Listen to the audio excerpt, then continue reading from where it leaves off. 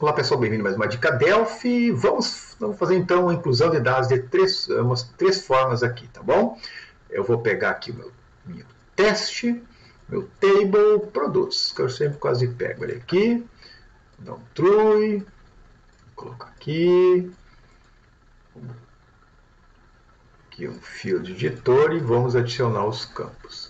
Bem, antes de mais nada, o Code Pro, como sempre, a gente recruit false e auto generation a gente auto ink. Perfeito? Feito isso, tá? Uh, o que, que a gente vai fazer aqui? Bom, eu já fazer o seguinte, eu no, no CAD Pro aqui, eu já vou pegar o Edit Mask aqui, né? Vou pegar com quatro dígitos. Uh, é isso aí. Eu, eu, não vou usar todos os campos, tá, pessoal? Porque como eu vou usar três maneiras, vai demorar muito. Bem, primeira maneira, tá? Primeira maneira que a gente vai usar, tá? Antes de mais nada, eu vou pegar aqui um é, data source e vamos setar com nossa tabela aqui para prontinho, tá? Uh, vamos pegar também um dbgrid para a gente deixar aqui, ó, é, Aparecer um pouquinho. Ah, puxei para cima aqui, né? Deixa eu só arrastar ele para baixo de novo aqui, né?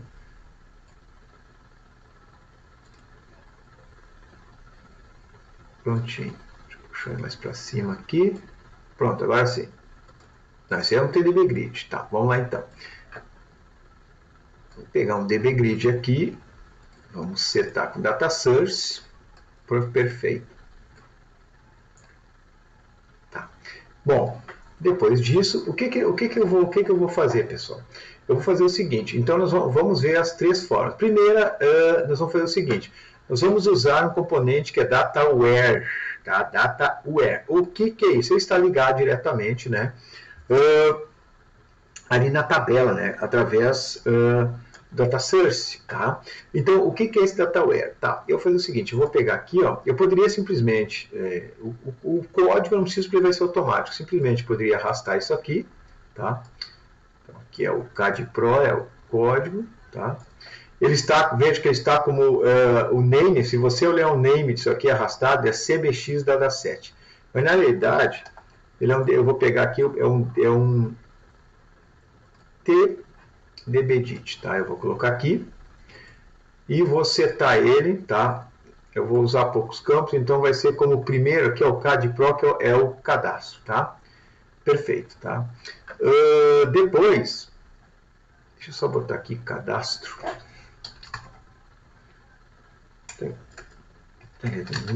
Cadastro, tá?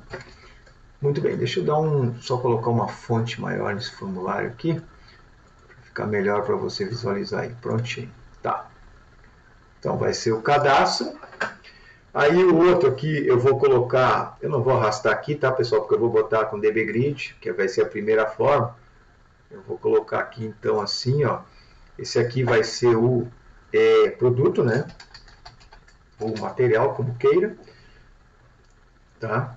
E o terceiro é, eu vou colocar aqui, eu vou usar quatro campos, tá?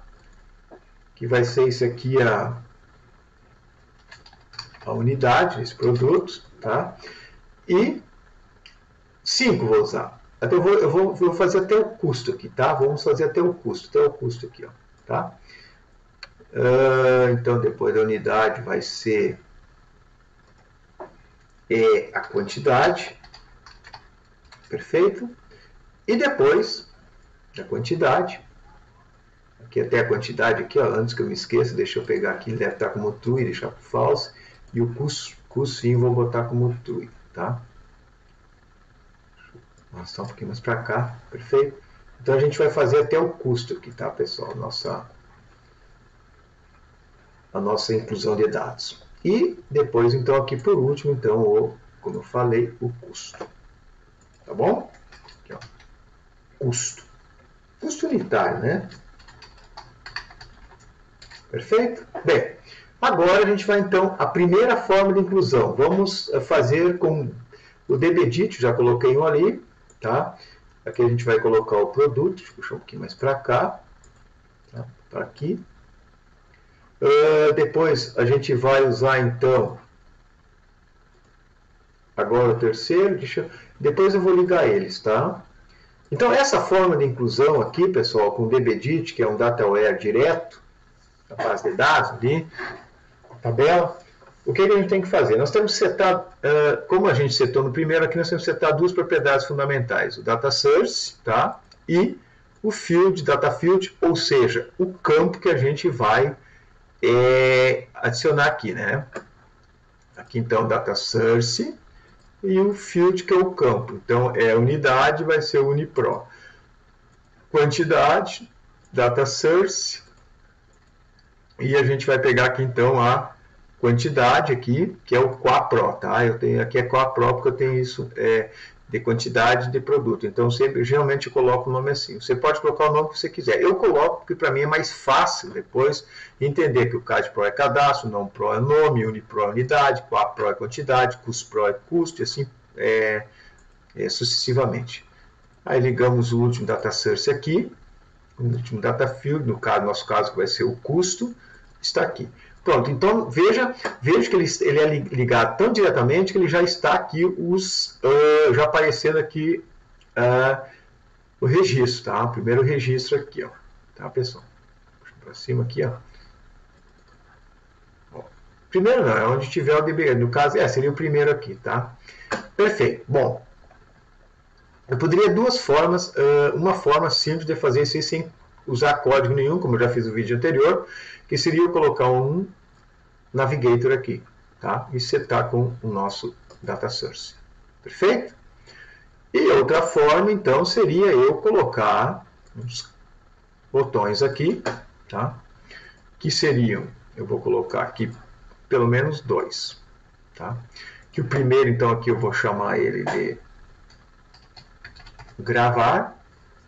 E o segundo aqui eu vou chamar ele de incluir ou novo. Vou colocar novo, né? Perfeito. Muito bem. Então aqui eu não escrevo nada de código, aqui eu quero escrever. Vamos então codificar o botão gravar primeiramente. No gravar, para ficar uma forma mais legal, eu posso usar então o estado, né, verificar o estado que está a tabela para gravar.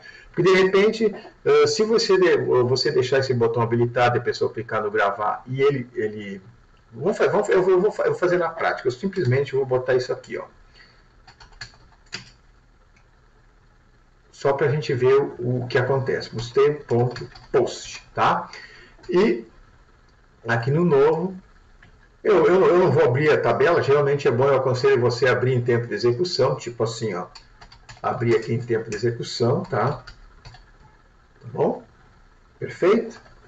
Porque se você. É, é, eu, eu, não, eu não aconselho você deixar sempre a tabela aberta do banco de dados, tá? Ela vai estar ocupando aí, simplesmente se você trabalhar em rede, né? Está ocupando aí acesso. Então, eu sempre aconselho você abrir ela na hora da execução aqui, tá bom? Dito isso, vamos lá então, produtos table, ponto. Você pode usar, como você sabe, o append, tá? Ou aqui você pode usar o insert, tá? Bom, pessoal? Muito bem. Então vamos fazer um teste, vamos compilar aqui. E aquilo que eu falei para você do botão gravar sem o tratamento do estado da tabela. Se eu clicar aqui, ó, produto, data table, não está em estado de inserção, tá? Ou edit ou inserção, tá? Como a gente resolve isso? Bem, vamos fazer assim, ó. Vamos fazer assim, ó. If produtos table, ponto, state, tá? In ds insert, tá? Aqui no caso, eu vou fazer só se ele estiver em forma de inserção. Se eu quisesse edição também, eu teria que fazer, eu teria que fazer aqui, ó, colocar ds edit. Daí ele tanto uh, iria, no caso, gravar, tá? Se ela está em edição inserção, tá, pessoal? Tá bom? Tá? Mas como eu quero só inserir, eu vou deixar só insert. Bem, Vamos botar um begin aqui. Tá? E aqui, e aqui vamos dar um enter. E aqui a gente pode fazer o seguinte. Depois que ele gravou o post, eu posso dar um... É, Eu poderia fazer outra forma aqui, que, que a gente pode fazer o seguinte, a gente pode usar em desabilitar o botão. Tipo, bit, tá? Btn1 ponto, tá? É, enable, tá? Igual a false. Pronto. No momento que eu clicar aqui, ele fica falso. No novo, eu faço o seguinte. No momento que eu clicar no novo aqui, ou aqui, ó, no evento onChange, tá? Do, do, do, do produto, eu posso fazer o seguinte. if db edit 2 ponto igual a se estiver vazio, dem eu não troquei o nome lá do bit PT, mas eu sei que é 1 ponto enable igual a false. Else, opa, else, eu vou pegar e vou copiar isso aqui. Se ele não tiver vazio, ele vai habilitar o botão. Se eu compilar aqui agora, pessoal, eu vou compilar para você ver, ele não vai, mesmo, mesmo eu limpando aqui, ó, aqui ele ficou desabilitado, tá? Desde que ele limpou, só que tem um porém. Uh, quando eu começar o formulário aqui, compilar novamente, veja que o botão aparece é, gravar aqui, tá? Se eu clicar nele, veja que não dá mais o erro aquele, ó. Por quê? Ele só vai gravar se ele, estiver, se ele estiver em é, estado, ou seja, em modo inserção, tá? Mas voltando aqui o botão, então aqui no evento, um Activate, um Create, como queira, pode ser até no Activate, a gente faz o seguinte, ó, a gente faz assim, ó, bit btn1, para ele já começar falso, a gente copia aqui e dá um Ctrl V aqui, tá? Perfeito? Então tá, então vamos fazer agora, vamos. Isso eu mostrei esses detalhes para você aí, que é um detalhezinho a mais, para você aprender já e fazer e ficar mais legal o seu, seu seu programinha aí, seu sisteminha. Muito bem, se eu clicar em novo aqui, tá? Eu poderia até já dar o foco aqui, né? eu não dei o foco, mas poderia dar aqui. Então, a data de cadastro eu vou botar o dia 7 07 2021. O produto eu vou botar... É, iogurte, deixa eu botar aqui com letra maiúscula, até depois lá a gente pode trocar lá. Iogurte, tá? Uh, unidade Quantidade vou botar 50 e preço unitário 4,59 e vou gravar. Ó, já apareceu aqui, então, perfeito, é uma maneira de inclusão. Outra seria aqui, tá? Tá, pessoal, aqui usando, mas eu não vou fazer porque já fiz outros vídeos, aqui é fácil, aqui simplesmente você vai clicar no mais e depois aqui no salvar e tá salvo. Eu só queria botar os botões para mostrar para você aqui. Então, essa é uma das formas. Qual? Com dbedit, tá? Então, três formas. Dbedit a gente viu aqui agora. Então, agora o que, que a gente vai fazer? Agora, a gente vai fazer o seguinte. Eu vou só botar mais para cá. E nós vamos fazer agora com edit, tá? Eu só vou colocar os edit do lado aqui, ó. Para mim não perder muito tempo, não vou colocar, essa aqui vai ser a data de cadastro, tá? Inclusive aqui na data de cadastro a gente pode fazer o seguinte, ou a gente usa um, um edit aqui, a gente pode usar um edit, né? Mas você pode também usar aqui, estar usando um que é, é para isso o Mask Edit, tá? Então, fazer assim, ó, deixa eu excluir esse Edit aqui, vamos usar um Mask Edit, tá, pessoal? E aqui na máscara dele aqui, no Mask, nesse Mask Edit, no Edit Mask, a gente vai pegar então a data aqui de quatro dígitos, ok? Prontinho, já está aqui. Uh, depois nós vamos pegar então o próximo, agora podemos pegar um edit que vai ser o nome. Aqui ó, eu não tinha colocado o char case, está com normal, a gente o per case, aqui também eu posso botar o per case, botar um pouquinho maior aqui, eu vou botar o per case, a unidade aqui também a gente pode botar o per case, você, isso depende de você, eu gosto de usar é, sempre com letra maiúscula, mas isso aí depende de você. Aqui eu vou pegar a unidade, então, é, deixa eu puxar mais para cima aqui, o char case eu vou pegar como o per case também, uh, aqui a gente vai usar o dbdit 3 para quantidade, tá? e automaticamente aqui, né, concluindo o Edit 4 para o custo unitário. Perfeito? Muito bem. Aqui eu vou usar os mesmos botões. Tá? Eu simplesmente vou depois lá usar os mesmos botões aqui. Perfeito? Tá. Muito bem. Então aqui no novo, é, a única coisa que eu vou mudar aqui tá? Na realidade, aqui eu não vou precisar mudar nada, tá? Tá bom?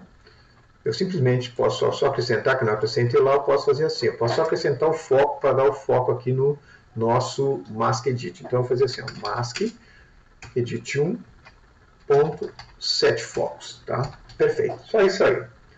No gravar que está a diferença, pessoal, tá? Aqui vem a diferença. Eu vou, eu, eu, eu até posso deixar isso aqui, veja, é, que isso aqui, com apenas essas duas, com essa, apenas com essa linha aqui, eu gravo com o DBDit, tá?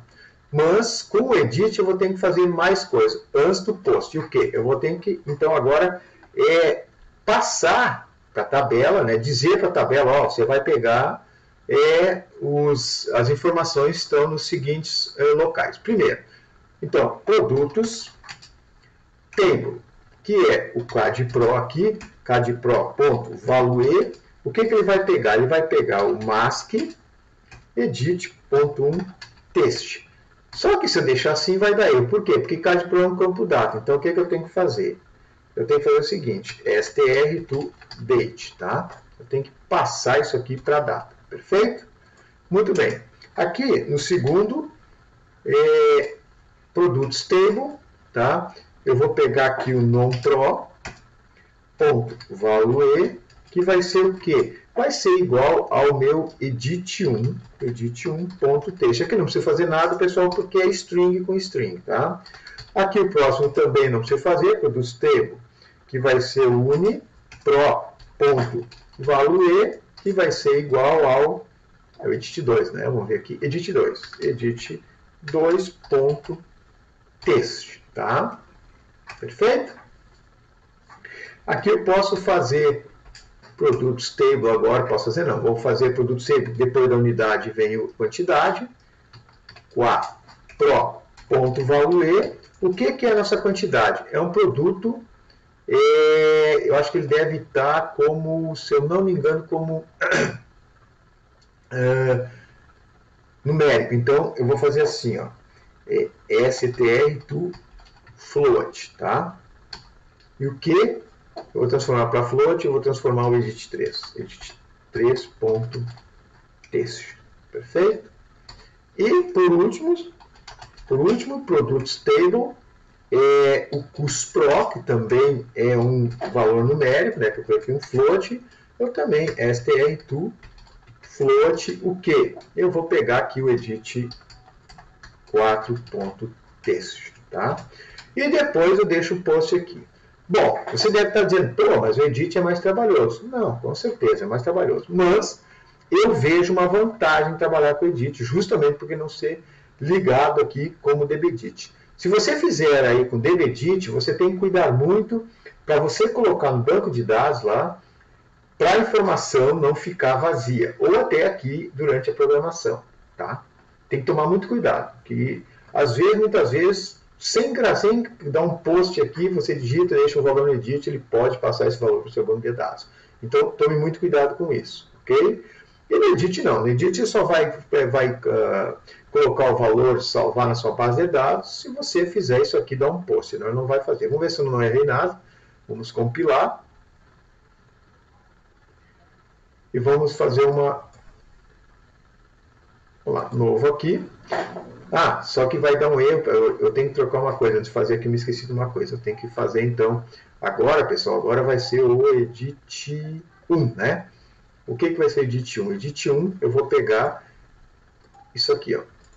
O mesmo, esse conteúdo aqui, então Ctrl C, e colocar no Edit 1, no Change dele aqui, e apenas trocar aqui, então vai ser o nosso Edit 1, tá? Se o Edit 1 tiver vazio, o botão gravar ali, no caso BitBit 1, gravar não vai poder, não vai, é, ele não vai ficar habilitado. Vamos lá, então, novo. A data, eu vou botar a data de hoje aqui. O produto aqui eu vou botar, deixa eu ver uma coisa que tudo a gente pode botar aqui. Vou botar farinha de trigo. A unidade vou botar PCT, pacote. Veja que eu não tirei esse texto aqui, tá? Por isso que está o texto aqui, tá? A quantidade 10 e o valor 8 89. Gravamos, ó, veja que já apareceu aqui, tá pessoal? Tá aqui, ó. O item é o código 37, vender trigo, pacote 10, 889, perfeito? Tá? Então você viu que com o Edit, pessoal, ele é mais trabalhoso, né? Veja que ele é mais trabalhoso. Se fosse com o DBDit, apenas essa linha aqui. Mas eu é, aconselho você a trabalhar com o Edit. Tá? Mas você vai saber. Você pode trabalhar com DBDit, mas aquilo que eu falei, você tem que ter muito cuidado, ok? Bem, qual é a outra forma aqui de inclusão que a gente pode fazer também? Aí seria usar, então, a, a inclusão é via SQL, né? Também, tá? Via SQL. Eu também tenho aqui pelo dbgrid também diretamente. Você pode simplesmente botar o dbgrid ali, digitar aqui e você vai fazer por aqui. Eu não uso o dbgrid, eu não gosto de usar. Eu prefiro usar o edit ou o dbedit, tá? Ou SQL. Bom, o SQL como é que a gente vai fazer? Então, vou fazer o seguinte. Eu vou colocar em linha reta aqui mais uns edit, tá? Mais edit aqui. Vou colocar mais um aqui. Aqui é a unidade. Esses dois aqui eu vou marcar e o char case, já vamos botar os dois duplamente per case. Vou pegar mais um edit aqui e mais outro edit aqui, que é a quantidade, perfeito? Muito bem. Então, o que, que a gente vai fazer? Uh, a gente pode fazer o seguinte aqui. A gente pode, na realidade, que você não precisa é, é, fazer um novo. A gente pode no gravar aqui e fazer o seguinte. Eu vou só, só é, fazer isso aqui, ó, e vou deixar um espaço aqui, deixar o código para você aí, e vou fazer, então, fazer o it produtos table.do begin e aqui eu vou usar os comandos SQL, tá? Você viu que aqui com o FireDAC, aqui com esse componente, a gente pode fazer assim, né, pessoal? É legal por aqui que você faz o mesmo componente usando como tabela e query eu vou dar um sql.clear, tá? E aqui a gente vai fazer sql.add, eu vou fazer como? Então, eu vou fazer assim, ó, insert into, é, opa, pro, parei, produtos, tá? E aqui o que, que eu vou inserir? Eu vou fazer o seguinte, eu vou inserir o CAD Pro, depois o non Pro, depois Unipro, depois Aqua Pro e por último o Cus Pro, tá? Tá bom? E aqui eu vou fechar, tá? E vou continuar aqui, SQL.add, e a gente vai fazer o seguinte, values, tá? O que, que eu vou pegar como valores? Eu vou usar parâmetros. Quais parâmetros? Eu vou fazer assim. Ó. Eu vou usar o parâmetro. E, deixa eu só botar mais um aqui, pronto. E qual é o parâmetro que eu vou usar? O primeiro eu vou usar aqui, então eu vou botar como P, eu vou pegar P CAD, tá, que é o cadastro. Eu vou pegar o P non, que é o nome. Eu vou pegar o P uni, que é a unidade. Eu vou pegar o P Qua, que é a quantidade, e vou pegar o P cus, que é o. Deixa eu só fazer o seguinte aqui. Eu vou pegar o. o, o, o, o não, peraí. Um pouquinho, tá errado esse meu. Aqui, ó. Que é o meu é, custo. Então aqui eu tenho os cinco parâmetros. Então o que, que eu tenho que fazer? Eu tenho que criar esses parâmetros. Então o que, como eu vou criar? Para by name, o primeiro ali então vai ser o pcad, tá? Que é do tipo as date, tá? E onde é que eu vou pegar esse? Eu vou pegar aqui, na realidade eu botei edit 5, podia ter botado o mask edit também. Bom, agora eu vou deixar o edit 5. Você pode botar o mask edit, tá? Tá bom, pessoal? Você pode botar ali o mask edit aqui, até seria mais legal. Mas tudo bem, deixa o edit 5 assim. Então o que eu vou fazer? Date to... Não, parei, desculpa, não é assim não é str to date o que? Meu edit 5.text. Eu tenho que transformar ele para data, tá? O outro parâmetro by name, o que, que eu vou fazer, que é o próximo, vai ser o p, pnon, tá? Que é Ah, peraí, faltou o P aqui, né? P não, que é do tipo asString, tá? Que vai ser o que? Meu edit 6, se não me engano, né? 6.text. E o outro parâmetro by name vai ser o p uni, tá? Que é do tipo asString também, que vai ser o edit 7.text. O outro parâmetro by name, tá? Que é o meu p equa, que agora sim já começa a vir com um número é, que é numérico, então vai ser as float, né? Que é o que? Meu str2 float, o que? Edit 8.text. Acho que é 8, né? Deixa eu olhar aqui. 8, sim, agora é o 9. E o, por último parâmetro, parâmetro by name, P é cus, né, que é o custo, vai ser as float, que vai ser até vou copiar aqui para ir mais rapidinho. E que vai ser o 9, tá? E aqui depois, então,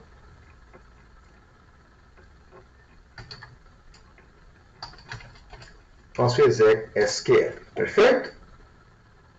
Vamos ver se eu não errei nada aqui e vamos ver se eu não se não deu nem se não esqueci de nada aqui, que a gente está fazendo rápido, a gente pode ser passado. Bom, então, veja que eu não vou clicar em, eu não vou clicar em novo nada aqui. Ah, tá. Só tem uma coisinha aqui, pessoal. Agora vem aquele velho história.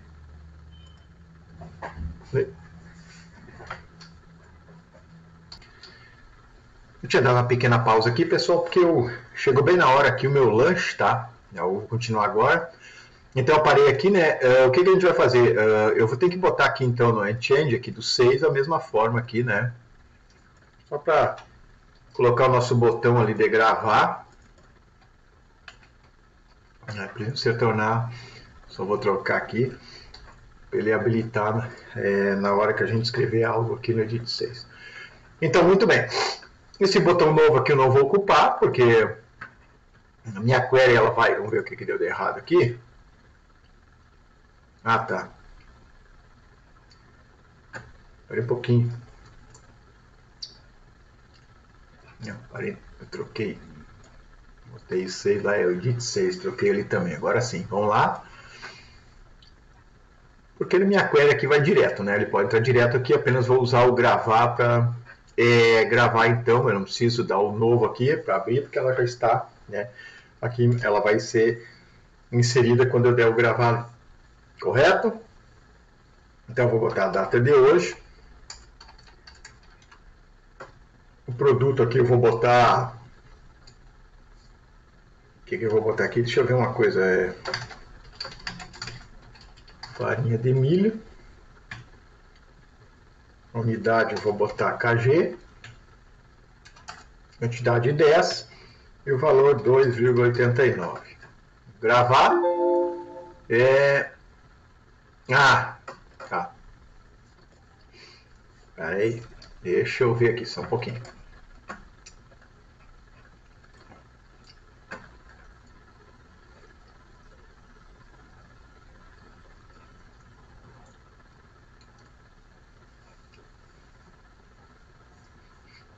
Muito bem.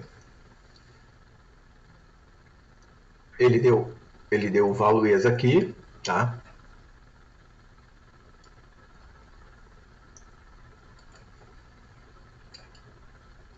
Só um pouquinho. Ah, tá, tá aqui, tá aqui o erro, tá? Já, já peguei aqui. Aqui, pessoal, ó, tá aqui o erro, tá? É, por isso que deu aquele erro lá, porque eu me esqueci de colocar o, é, o parênteses aqui, tá? Porque ele tem o parênteses aqui, ó. Tá? Ele fecha aqui na, na, nos campos, eu me esqueci de colocar aqui. Aqui, é, aqui eu já tinha colocado aquela hora para não me esquecer, perfeito? Vamos ver agora, mas se tiver erro, vai corrigir. Vamos lá então. Como eu falei, não precisa de botão novo, ele já vai estar aqui para inserção.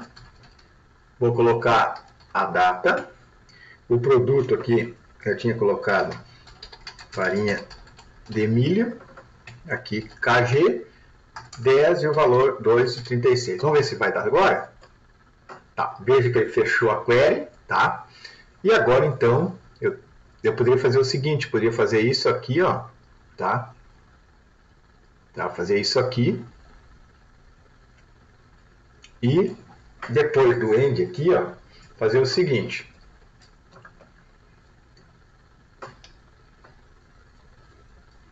É, Vamos fazer assim, ó. Deixa eu pegar essa parte do bem aqui. Vamos fazer assim, ó. Close, tá?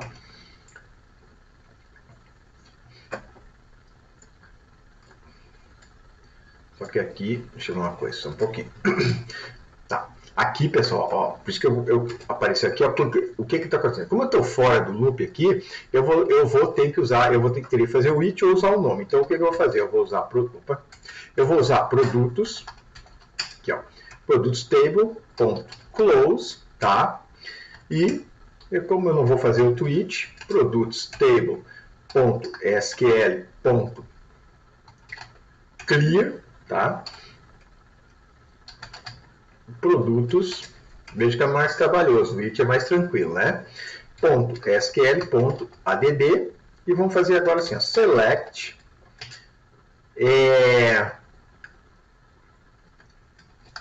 foram produtos, nós apresentar ali o produto, tá? Perfeito? Para a gente ver se realmente adicionou aquilo que a gente fez. Tá, pessoal? E aqui, então, a gente vai fazer um Open. Opa, Open não. Vamos botar produtos, né? Porque não, senão não vai dar certo. Pronto. Agora sim. Prontinho. Agora podemos, vamos compilar. E já vão ver agora, aproveitar que, que agora sim vai aparecer, e vão ver se apareceu a nossa inserção lá. Ó, Farinha de milho, está funcionando, veja que a gente fez a última inserção aqui, ó, farinha de milho, programa 10236. Mas agora vamos fazer, só para a gente fazer isso, opa, faltou aqui, 17, é, 17 2021, e vamos botar aqui, será que eu estou com farinha? Farinha de mandioca, 5, não, parei, aqui é o quilograma, né? Vamos botar pacote aqui, 5 e 1,36 e gravar. Ó, ele, ele, ele veja que ele não fechou, tá? E veja que já está gravadinho aqui, tá? Então tá, pessoal, é isso então, tá bom? Eu fiz o quê? Eu fiz aqui três inclusões, é, maneiras de inclusão de dados, que basicamente você vai usar uma delas, tá? Uh, deixa eu ver uma coisa. E você vê então que a, a SQL e o Edit são mais trabalhosos, tá?